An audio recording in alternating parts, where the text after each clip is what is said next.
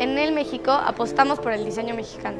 Y junto con The Home Store buscamos potencializar a los diseñadores emergentes.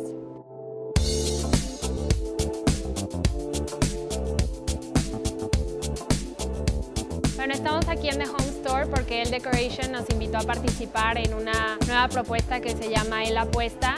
En la mecánica en la que yo gané tenías que crear un tweet. A mí se me ocurrió hacer un video promoviendo lo que era El Apuesta y al diseñador que está promoviendo la revista El. Estamos buscando que todo el mundo allá afuera sepa quiénes son estos talentos. El mercado está empezando a consumir diseño y sobre todo diseño mexicano y eso está muy bien porque si hay este mercado eh, la variedad de interioristas y diseñadores va a ser mayor.